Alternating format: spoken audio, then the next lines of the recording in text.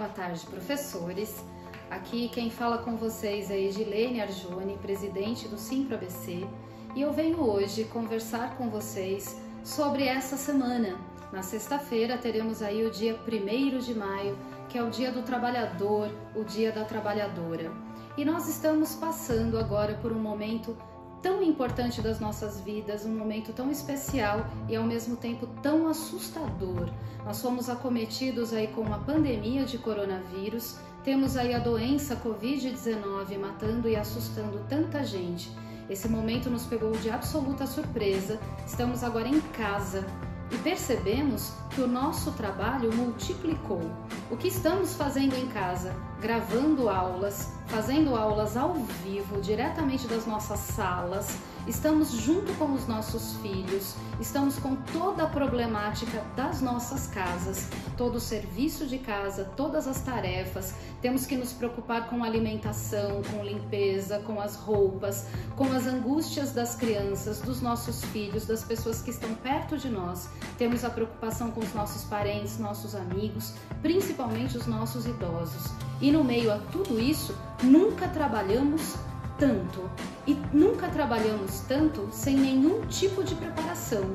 Nós não fomos capacitados para esse tipo de trabalho. As escolas simplesmente exigiram que a gente tivesse os equipamentos e fizesse aulas profissionais virtuais.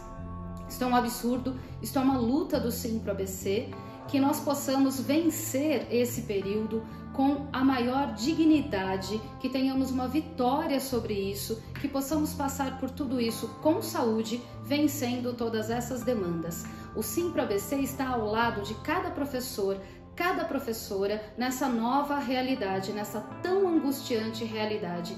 Nós estamos orientando vocês através das nossas redes de como proceder com esse trabalho tão assustador que estamos vivendo no momento, como vocês podem se proteger de tantas demandas e tantos problemas que podem vir a partir daí.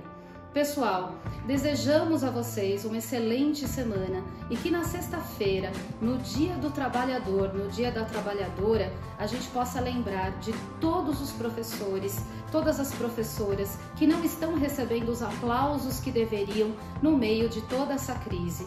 Também vamos lembrar das vítimas da Covid-19, dos trabalhadores e trabalhadoras que perderam suas vidas, das famílias que perderam os seus entes queridos. Então, nós vamos colocar aqui uma campanha para vocês, que no dia 1 de maio, na sexta-feira, possamos colocar em nossas janelas um pano branco, qualquer tipo de pano branco, para homenagear as vítimas dessa doença, as vítimas e todas as famílias dessas vítimas. E no dia 1 de maio, os aplausos a todos os professores e professoras que vivem esse momento tão importante. Então fica aqui o nosso abraço, a nossa acolhida para vocês, que seja um dia pleno para que a gente possa refletir sobre tudo isso.